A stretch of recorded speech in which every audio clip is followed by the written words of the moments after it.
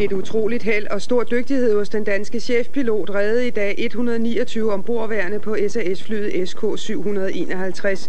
Flyet foretog en dramatisk nødlanding kort efter starten fra Arlanda Lufthavnen uden for Stockholm. God aften, TV-avisen fredag den 27. december. Svensk politi har endnu ikke offentliggjort antallet af danskere ombord på flyet, der skulle mellemlande i København. Stefan Rasmussen, dansk chefpilot på flyet, tilskrives størstedelen af æren for den mirakuløse nød nødlanding. Sanktionerne over for Sydafrika hæves ikke, som der ellers har været optræk til. Voldsomme kampe i den tidligere Sovjetrepublik Georgien i nat, da oprørsledere blev befriet af tilhængere. Sygehusansatte i Odense undervises i selvforsvar på grund af mange voldelige overfald.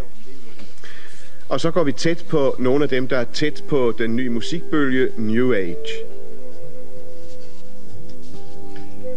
SAS-flyet SK-751 foretog som sagt en dramatisk nødlanding i morges. Det er endnu ikke fastlagt, hvorfor flyets motorer pludselig gik i stå, da det var på vej fra Sverige med kurs mod København. Ombord var 123 passagerer og 6 besætningsmedlemmer. Det var kun den danske pilots dygtighed, der gjorde, at flyvelykken i Sverige i dag ikke blev til en katastrofe. Ud af 123 passagerer og 6 besætningsmedlemmer kunne 107 personer selv forlade den ødelagte maskine. 20 blev lettere kvæstet, en alvorligt. Flyet letter fra Arlanda Lufthavnen i Sverige kort før kl. 9 i morges på vej til Warszawa med mellemlanding i København. Tre minutter efter start begynder problemerne i 600 meters højde. Flyets motorer går pludselig i stå, og efter at den danske flykaptajn Stefan Rasmussen har forsøgt at genstarte dem, lyder det kort efter til kontroltårnet i Arlanda. Jeg havererer. Det började smälla efter starten här vid vingarna, ute vid vingarna och blixtrade och sen eh, stannade motorerna troligen. En först och sen sa flygvärdinnan att det var fara då, att vi skulle hålla oss lugna. Men selvom der opstår røg i kabinen, lykkes det alligevel Stefan Rasmussen at buksere det 64 tons tunge fly ind under nogle højspændingsledninger og nødlande her på en sniklaget mark 20 km nordøst fra Arlanda Lufthavnen ved Gottröder. Jag trodde att vi skulle være på vej tillbaka till, til Arlanda för det var precis i stigning. Men eh, när vi, eh, då så, ser jag trätoppar komma så jag sa till min fru som satt bredvid att det här går åt helsike alltså. Och sen så, eh, så kom, sen, börjar, sen känner vi att den börjar klippa trätoppar. Mm. Och, eh, eh, och det ryker och, och eh, trän runt om oss då och så, och så bara trillar den ner här precis och, och eh, det gick ganska mjukt i och för sig. Så att ehm, eh, eh, när jag, sen, ja, jag satt relativt nära en, en säkerhetsutgång. Det blev inte någon panik utan folk samlade ihop sig och drog sig ut. Det började ropas förstås och skrikas, det var många som grät och så. Men eh, sen kom vi då ut över vingen, jag satt på mitt i planet ungefär. Den svenske havarikommission arbejder stadig her til aften på at finde ud af, hvorfor flyets motorer pludselig gik i stå. SAS-direktør Jan Karlsson havde her i eftermiddag følgende kommentar til ulykken. Det är sånt som inte händer och därför blir man naturligtvis bestört. Samtidigt så är jag inte så utomordentligt glada över de rapporter jag fått hittills att det inte är några döda. Vilket är ju ganska fantastiskt om Den danske luftkaptajn Stefan Rasmussen var både bange og nervøs, da han skulle nødlande det tunge fly. Det fortalte han på en pressekonference sent i eftermiddag. Det var en på samme tid både trykket og lettet dansk luftkaptajn, der sent i eftermiddag i SAS-hovedkvarteret i Stockholm kunne fortælle om de dramatiske sekunder fra flyet fik motorproblemer og til den på mange måder vellykkede landing på en lille mark uden for Stockholm. Jeg skønner at ligge i en, en meget lav højde, om, om, omkring 100, 150 meter. Og der skal der altså træffe beslut om at finde det egnede sted til at, at, at lande flyet. Og Stefan Rasmussen havde derefter nogle få sekunder til at vælge mellem hvilken af to marker han ville lande på. Mindre marken fremme. Øh, men jeg var, det jeg var mest bange for, det var at flyve ind i nogle af de der sten, I har på marken heroppe, altså fjellet. Og øh, der ser jeg den her skovtykningen, og, øh, og, og, og fornemmer, at, at når den skovtykning den går ud imod en, en, en mark, så måste det gå nedad. Og hvis jeg på, kan få sat flyet ned, så læser jeg bremser på skoven, og så lader den gå ud i det. Og samtidig får jeg rettet flyet en lille smule, fordi der er to huse derude på, på marken, som jeg vil prøve at undvike. Og øh, ja, da jeg så rammer trætoppene, der, der tror jeg nok, at der ople oplevede jeg min juleaften et par gange. Stefan Rasmussen bare en støttekrav på grund af følgerne af slag og muskelspændinger, men er ellers sluppet fra uheldet uden men. Det er måske kun en pilot ud af en million, der får lov til at vise, hvad han formår en gang. Og øh, indtil nu er jeg nogenlunde tilfreds med resultatet.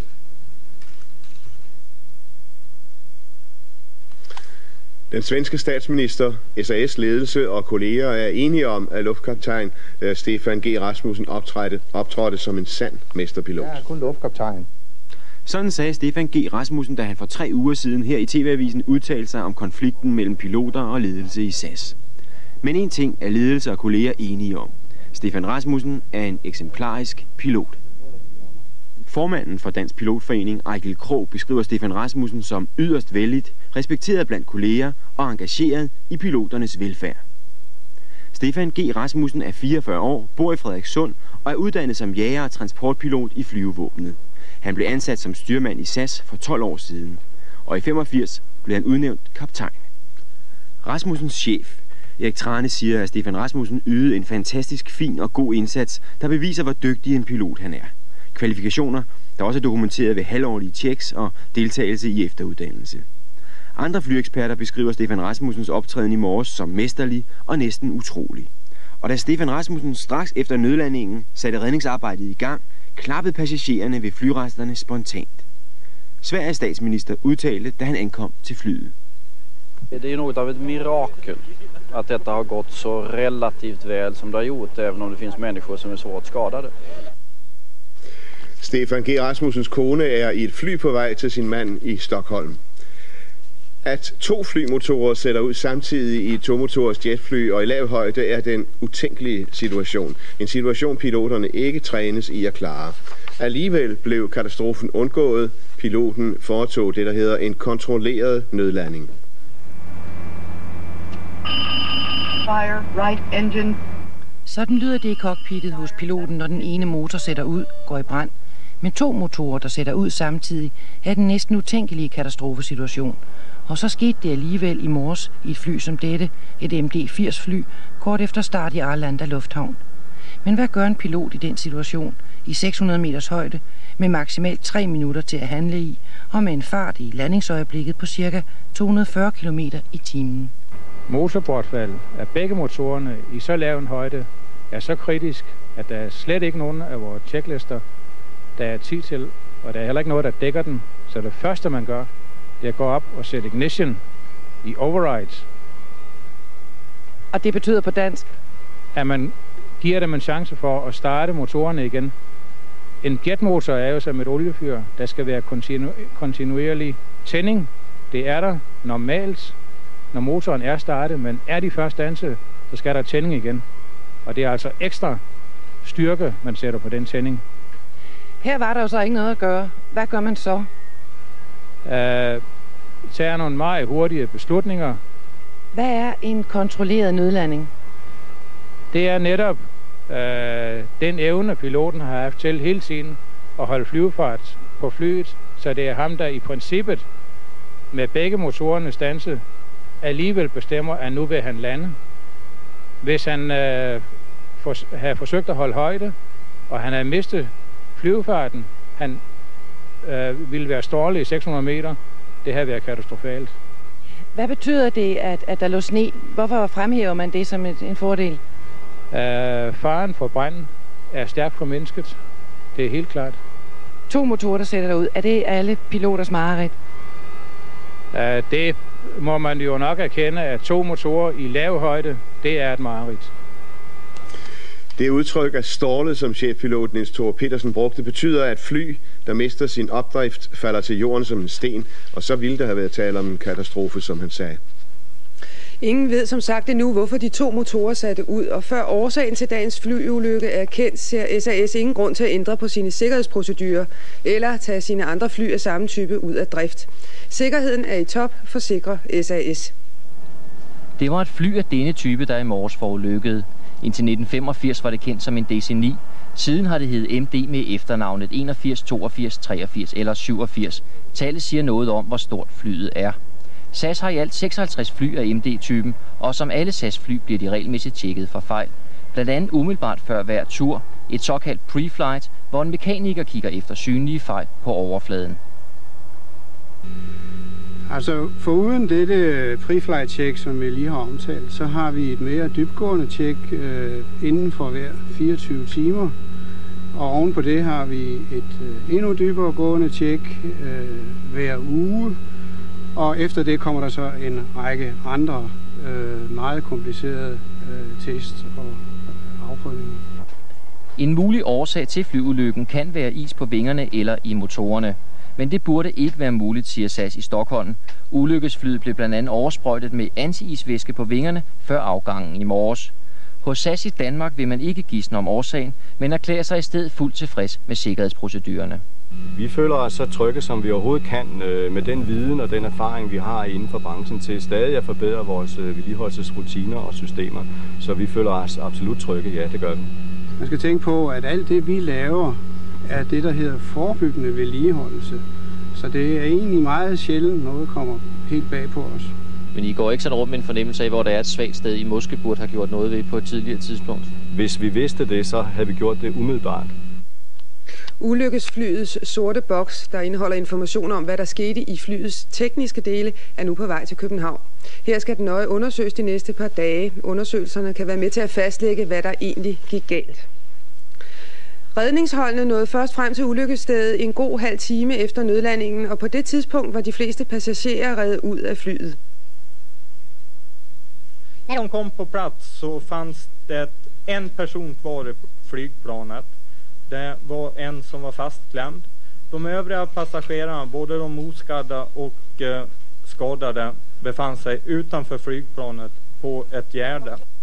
Det betegnes som et mindre mirakel, at ulykken ikke kostede menneskeliv. Otte hårdt sårede var det synlige bevis på ulykken, da de 50 redningsfolk ankom. Redningsaktionen gik lige så vellykket som nødlandingen, og men redningsfolkene havde visse problemer med at få nogle af de øh, nødstedte passagerer til de nærliggende sygehuse. Det rørte sig om klemskader och øh, eh, skallskador, sår, skärskador, frakturer och øh, eh, i huvudsak. Eh, vi har inte sett någon eh, medvetslös eller eh, riktigt dålig eh, passagerarbesättning.